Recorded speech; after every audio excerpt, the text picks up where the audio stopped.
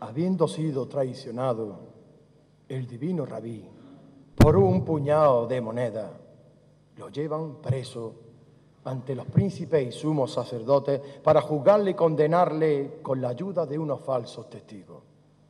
Mas, habiéndole imputado ya graves delitos, lo presentan ante la autoridad romana gobernante Pilato, quien en su afán de agradar al tumulto y por temor a los tiranos, ordena amarrar a Jesús a una columna fría.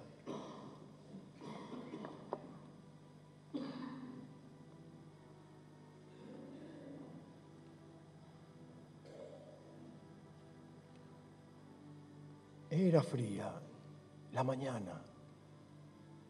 Su cuerpo lo desnudaron y a la columna amarraron, azotándole con saña. Y aquella rosa encarnada se volvió rojo clavel por el martirio cruel y luego flor deshojada. ¿Cuántas hojas se estamparon contra la piedra manchada? ¿Cuántos pétalos de piel desgarraron de su espalda? De sus labios, ni una queja. De sus ojos, ningún llanto. De su alma, solo entrega. Y por su entrega, el escarnio. y la sangre que emanaba de su cuerpo dolorido, la vida eterna nos daba y con ella el paraíso.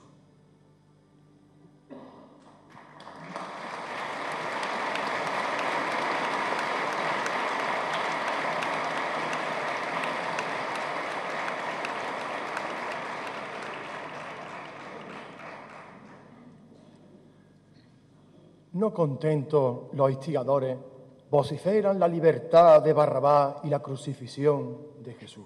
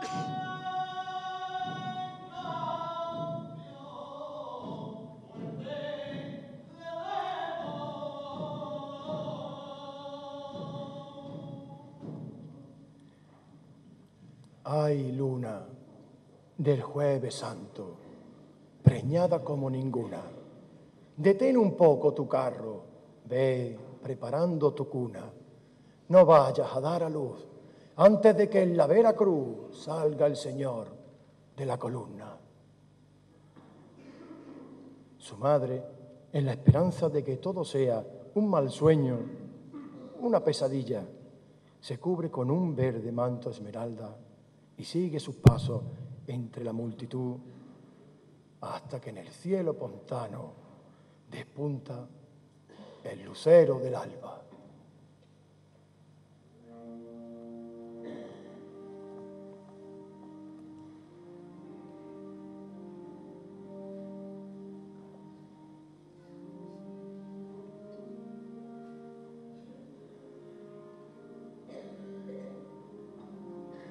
Cuando descreste el alba, a lomos de negra noche y de flores su luz clara, al romper argente broche, Y cuando la luna blanca ya Roma por occidente se asome por la ventana de su gestación creciente.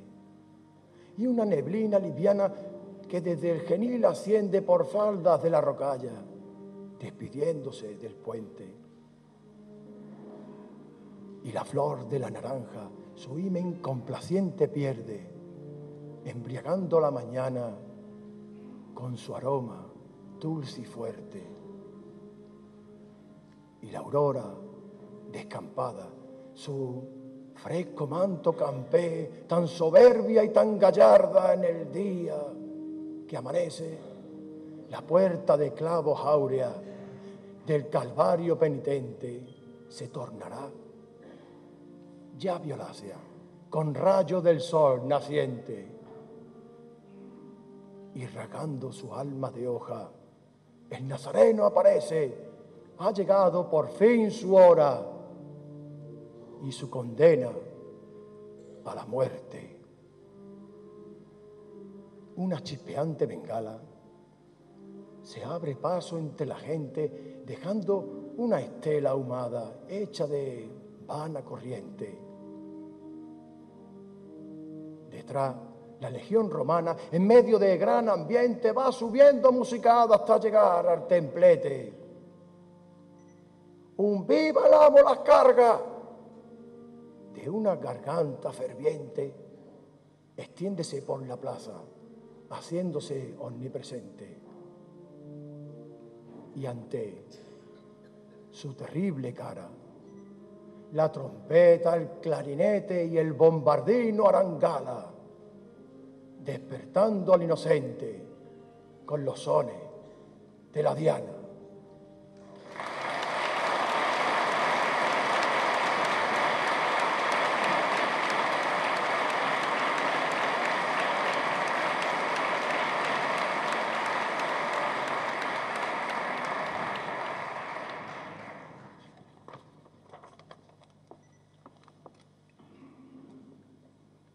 todo un pueblo penitente, con cirio o vela en ristre, camina al paso lento e inseguro del maltrecho nazareno, desde los primeros albores del día. Una alcatifa de lirios morados se va desplegando ante sus heridos y sangrantes pies para que las piedras del camino no aumenten el sufrir que la pesada cruz ya le inflige. Atrás, el ingrávido humo de la bengala del imperio aún flota en la plaza del Calvario, dejando una escena batallesca donde humea el cañón y se alza la lanza de la reciente tragedia. Clara en la mañana y negra la pena de una madre dolorosa, ya consciente de que no es un sueño ni una espantosa pesadilla lo que contemplan su, dolor, su doloroso y lloroso ojo de madre. Ay, Virgen de los dolores, de las madres, la más bella, te cantan los ruiseñores en el cáliz de las flores al venir la primavera tu grandísimo amor, caminas tras de tu Hijo por la senda del dolor con el corazón partido. Lágrima, sangre y sudor para un mismo camino. Llora la Madre de Dios, muriendo está Jesucristo. Las atrevidas golondrinas revolotean alrededor de la corona de Jesús, queriendo extraer una a una sus espinas y con ella hacer sus colgantes nidos de amor en las inmediaciones de bóvedas y techos. Por la calle Santa Catalina, Jesús cae por primera vez. Mas toda una legión de figuras bíblicas del Antiguo y Nuevo Testamento acude compasivamente a, su auxilio y con absoluta fijeza en los ojos del Nazareno le ofrecen los más variados bienes sacrificio y martirio. Las oraciones y plegarias brotan como tiernas yemas de unos corazones palpitantes. Mientras tanto, San Juan, el discípulo amado, contempla la escena con misericordia. Jesús se levanta, avanza y, tras cruzar el arco de la calzada, el peso del madero se le incrusta en su fatigado hombro. Un hombre bueno, pontano, le sale a su encuentro y le ayuda a llevar la cargante cruz por un extremo, mientras desciende por la tortuosa cuesta. Los balcones, alféizares y marquesinas lloran y gritan de dolor en forma de saeta que se clavan en el rostro del Nazareno como los clavos en la cruz.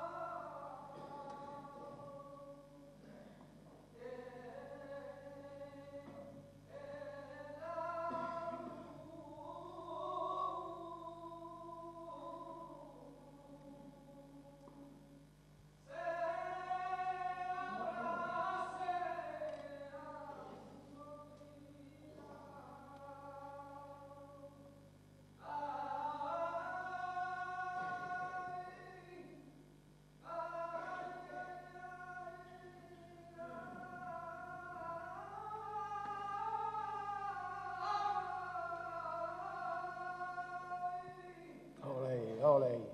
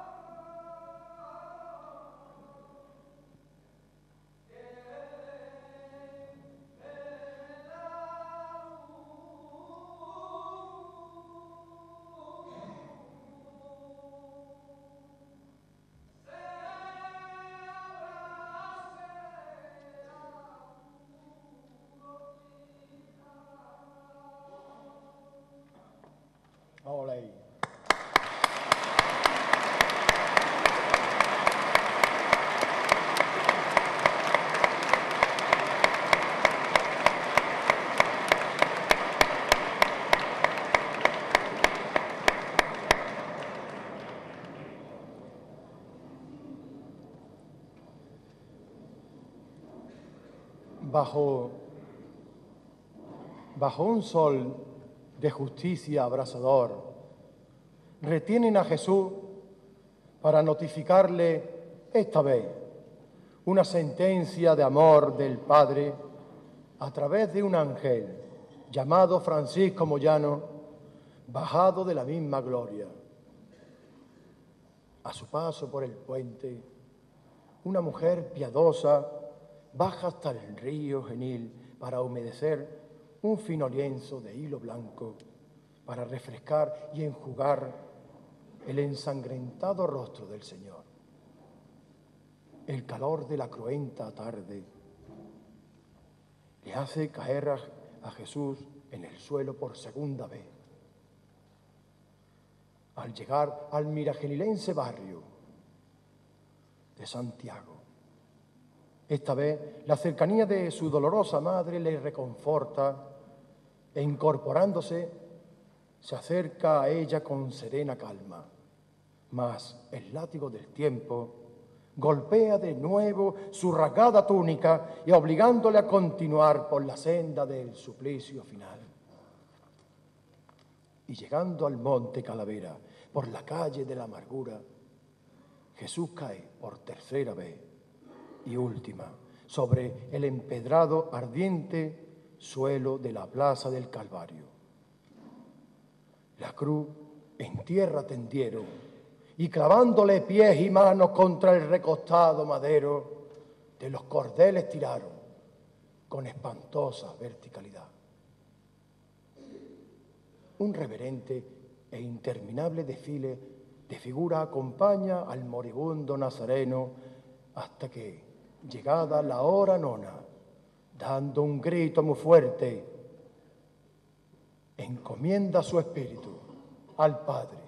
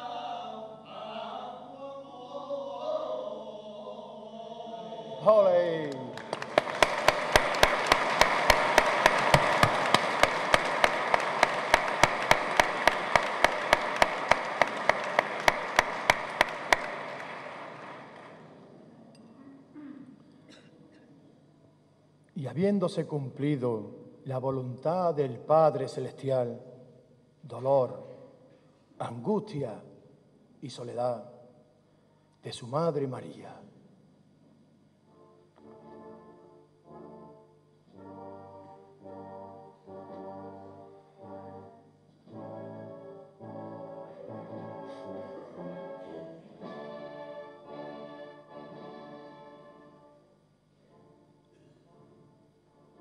pensar es Viernes Santo, que la tarde ya no es tarde, sino un recuerdo en el aire que abre la puerta al pasado.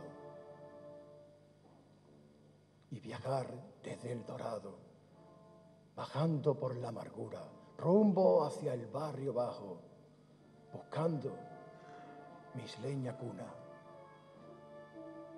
Y soñar el sueño eterno del pontano que ha vivido, viviendo en ti, Nazareno, cuando tú me hayas dormido.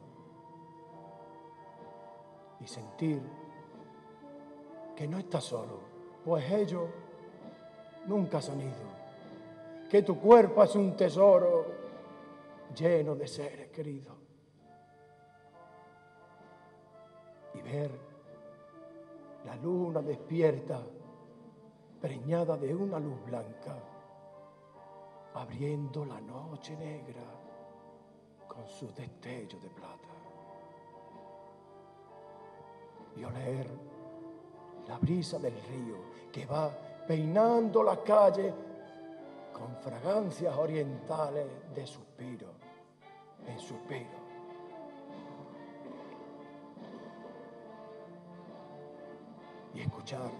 Una saeta que desde el balcón del alma espanta toda la pena del hermanito que canta.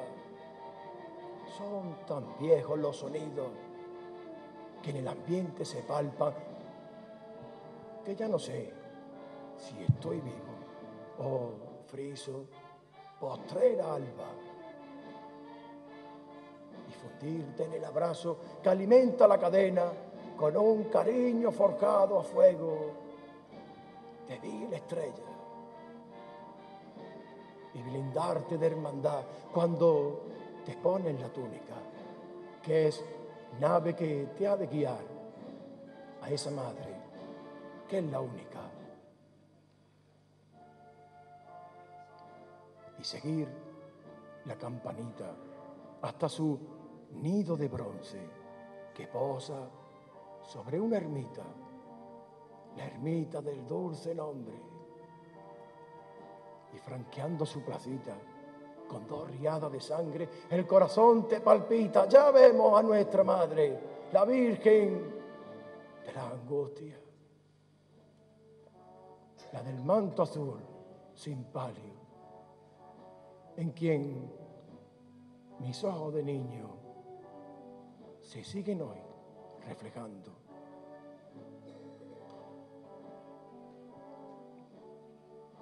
Destino de mi saeta, puerto de mis alegrías,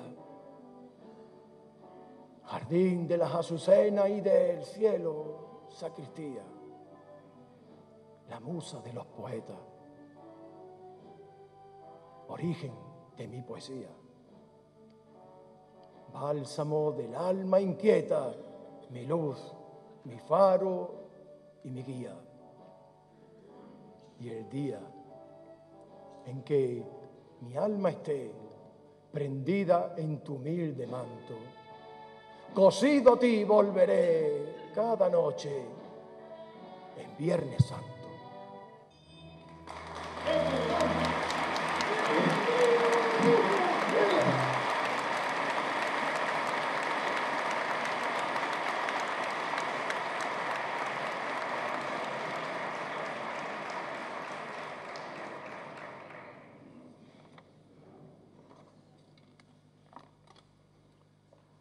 En silencio de la huérfana noche suena un lejano y débil tintineo de una humilde campanita.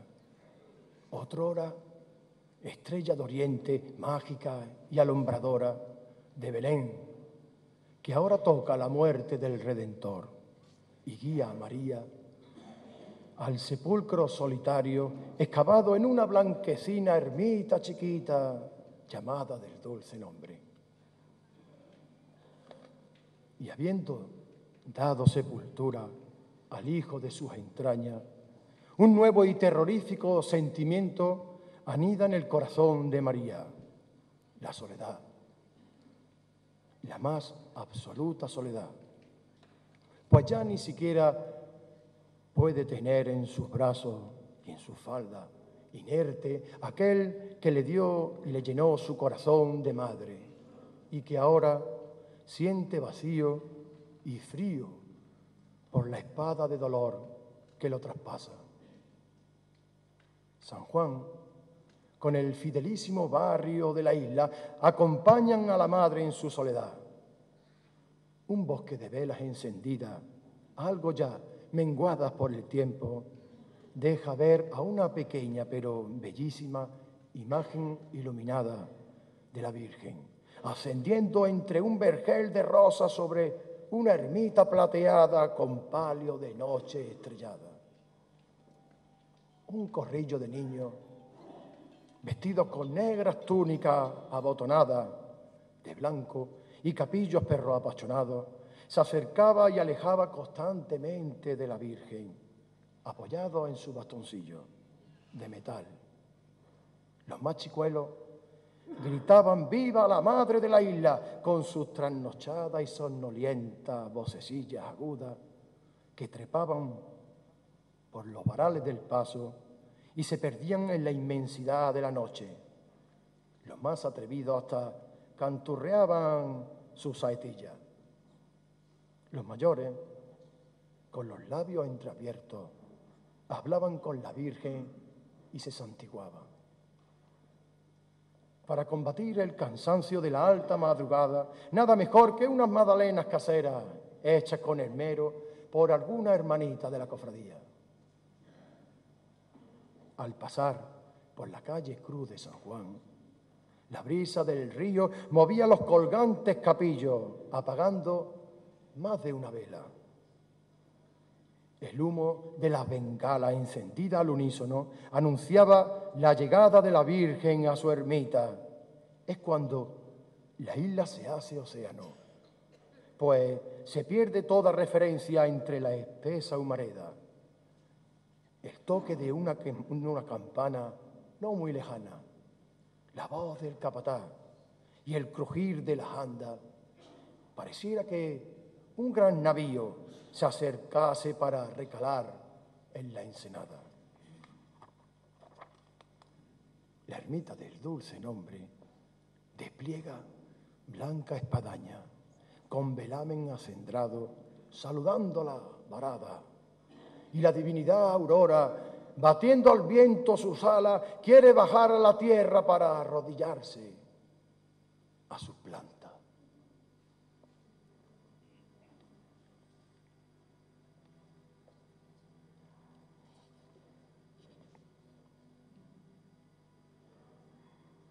¿Por qué no abres la ermita? Santero del dulce nombre, que quiero contar mi cuita a mi Virgen de la Sole. ¿Por qué no abre, Santero? Deja que el viento le sople y seque sus lagrimillas que por las mejillas corre. ¿Por qué no abre, Santero? Que un rayo de sol robe la palidez blanquecina de su carita tan joven. ¿Por qué no abre santero? Deja que el río se asome y entreteja con su junco una corona de flores. ¿Por qué no abre, santero, a la luna de la noche que quiere servir de espejo a mi Virgen de la Sole. Abre santero las puertas y redobla las campanas, que el aire ya huele a huerta, que ya llegó la mananta. Enciende todas las velas, repasa toda la plata, que vienen las camareras para ponerla bien guapa. Virgen de la soledad, eres madre de la isla, que te adora y que te mima por donde quiera que va. Tu manto de terciopelo, negro por el luto duelo, guarda un trocito de cielo al hermano que se va. Hermano Enrique Romero yo te vi en tu desvelo todos los días rezar en la puerta de la ermita, fuera verano o invierno, con toda tu enfermedad. Y al risueño Pepe arriba, derrochando su energía, sin parar de dar viva, que viva la soledad. Y al canoro Mario Reina, cantando con los del coro y haciendo cántico solo con su voz angelical. Y al hermano Oscar Reina, eh, el más querido por todos, con un corazón de oro que sabía disfrutar. Y también a tantos otros cuyo recuerdo perdura, reflejado en tu hermosura, Virgen de la soledad. Abre la puerta, Santero, es noche de Viernes Santo, y por los que ya se fueron, quiero tener un recuerdo cuando yo bese su manto. Abre